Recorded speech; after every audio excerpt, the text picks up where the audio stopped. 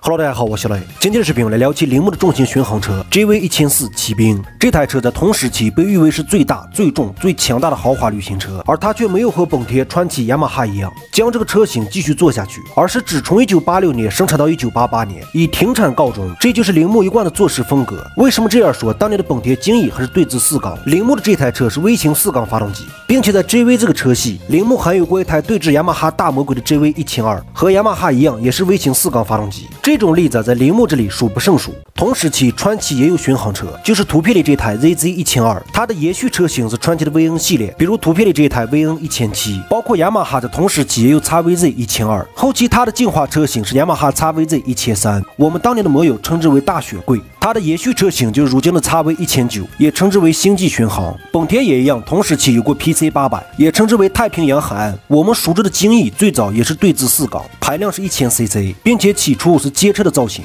如今这台车已经是收藏级别，后期排量提升了一百 CC，变成一千一百 CC，也可以看到精益的雏形。再次进化也提升了一百 CC，是一千二百 CC，不过它还是对置四缸，直到变成了一千五百 CC 才变成对置六缸。到了后期也变成了我们今天最熟悉的精益。不过二零一八年它已经变款变成了这个样子。这些车型在未来都会慢慢聊，也就是说其他三大厂他们的所有车型都有延续，唯独铃木没有。如今铃木的重型巡航车只有联鹰大道，也就是 M 幺零九二。但是那台车它在国内是保有量非常少。铃木的这台骑兵它有三种型号，视频里这台是入门级别，它叫 GV 一千三 GT。另外它还有中配叫 GV 一千四 LX，也有顶配 GV 一千四 LXE。从外观上最直观的区别，顶配的车型是有头枕的，中配跟低配只有背靠。它用的是一台液冷一千三百六十 cc 四冲程八十二度微型四缸发动机，每缸四个气门，最大马力一百一十二匹。在七千转爆发八十一点六千瓦，在五千五百转爆发一百二十五牛米。这个位置是它的收音机、对讲机，包括无线电功能。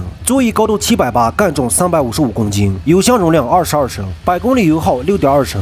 它的后悬挂用的是可调节空气减震，而且当年就带有铃木的自动调频系统，这可是三十四年前。整车长二点五米，宽是九十三厘米。高度是一米五五，带有巡航定速，前后座无线对讲。此车配备有空气压缩机，不仅仅可以用于后面的空气悬挂，包括驾驶员座椅也是气动调节的。乘客的座椅、靠背、头枕都是气动可调的。另外，驾驶员腿部也有风控系统，前后座均有自主可调的立体声扬声器，可以分别独立控制，并且驾驶员和乘客都有单独的储物空间。除了标配的三厢之外，驾驶员的储物空间在手把下方。乘客的便携式储物空间在边箱上方。它当年所谓的气动调频系统，也就是说后悬架是带有负载预张紧器的，可以时刻保持车身在水平状态。另外，乘客脚踏包括驾驶员脚踏都支持手动调节，包括车把和挡风玻璃也支持手动调节。另外，它的后尾箱可根据乘客身高自由的对后尾箱高低进行调节，因为后尾箱跟靠背是一体的，下面也是有阻尼的，可以调整。这都是视频里低配的功能。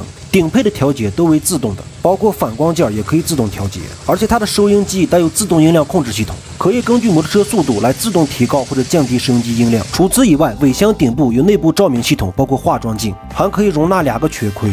我越说越不敢置信，这居然是三十五年前，他们就可以把细节做得如此完美。突然感觉春风不相来。另外，它的 LCD 显示屏除了可以显示标准的档位、转速，包括里程之外，中间这个小 LCD 屏有侧编程熄火系统，而且会提示你编程是否已经放了下来。如果编程放下来，还有个图可以显示，甚至三项没有关闭，它也有显示，跟如今车里面那种差不多。我找来一个图片，大家能不能看到？真是有点太变态。这个功能放到今天不以为然，可要放到三十年前，的确很新鲜。另外，顶配的车型配备了自动弯道照明灯。另外，这个车也配备了有电配件插头和五百瓦的交流发电机。大家不要问我怎么能装得下这么多东西，你得问一下铃木，因为我也不知道。视频最后我们来总结一下，这台车能被美国包括日本评为同时期最强大的豪华旅行车，毕竟有它的过人之处。而我聊的只是它说明书上的一部分，剩下的很多按键我已经找不到它曾经的功能。但是就这一部分也足以让我惊讶。不过这个车型目前肯定没有办法和精益这些车去比较，因为毕竟不是一个年份的产物。但是就同时期来说，它绝对是碾压精益的存在。而且它的很多小设计，你慢慢去看，比如这个反光角是软的，即使你倒了车，也不用担心它那么容易坏。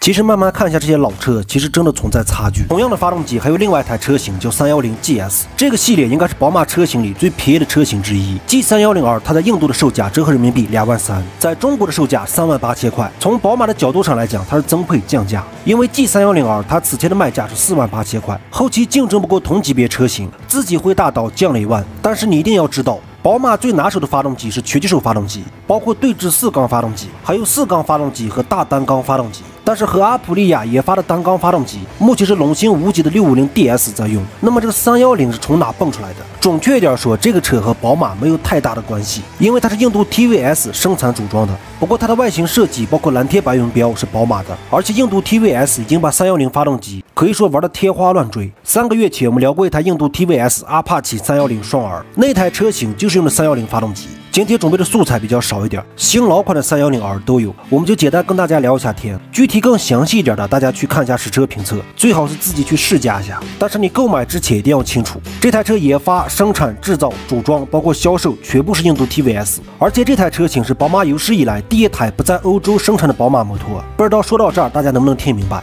而且 TVS 它最早合作的是铃木，后期和铃木闹掰了之后，宝马才趁虚而入，并且在2013年宣布与 TVS 合作生产 500cc 以下摩托车，并且由印度开发。它开发好了之后，再送到德国进行进一步的测试，包括改装。后期直到2015年才推出了这款车型。但是 TVS 很聪明，同样的发动机生产出来的街车挂的宝马标志，生产出来的跑车挂的 TVS 标志，而且配置非常高，卖的更便宜。我们此前聊过，大家可以看一下。所以大家千万不要小看印度。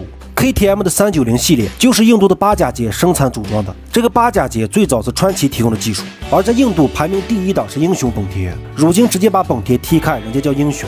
这个小故事我们之前也聊过。而且不管什么车，只要在印度组装，总会出现漏油、渗油、烧机油，这就跟一个魔咒一样，无法解开。宝马三幺零是这样，KTM 三九零也是这样。而且还有个特别有意思的事儿，此前国内举行宝马车友会，宝马三幺零 R 车主是禁止入内的，理由是因为道路通过问题。这个并不是段子，是真事儿。我并不是小看印度组装，而是这几年他们爆出的组装问题实在太多。我给大家简单说几个：气缸密封胶打不严，后刹车油管磨轮胎，包括你们知道的曲轴箱可以掏出来报纸。这种装配手艺的确让人不放心。而且2021款虽然升了级，只是增加了新的电子节气门，改善了一下老款油门反应的迟钝，也对发动机进行了微调。简单点来说，就在启动的时候增加了怠速，也不那么容易熄火。包括也有了滑动离合，大家可以看到，老款的是卤素大灯，新款的有了改进，用了 LED 大灯。除此以外，跟老款的是一样的。而且这台车目前仅在亚洲地区发售。具体的信息，它用的是一台水冷单缸四气门发动机，排量是三百一十三 cc，最大马力三十四匹，在九千五百转爆发二十五千瓦，在七千五百转爆发二十八牛米。六速变速箱，前后双通道 ABS，前轮胎十七寸幺幺零，后轮胎十七寸幺五零。座高七百八十五，装配总重量一百五十八公斤，油箱容量十一升，百公里油耗理论在三点五升左右，最高时速一百四十五公里每小时，用的是钢管车架，链条传动。